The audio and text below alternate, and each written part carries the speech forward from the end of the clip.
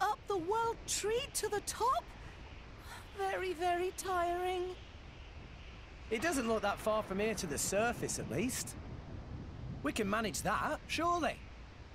Don't you ever quit with that optimism, huh?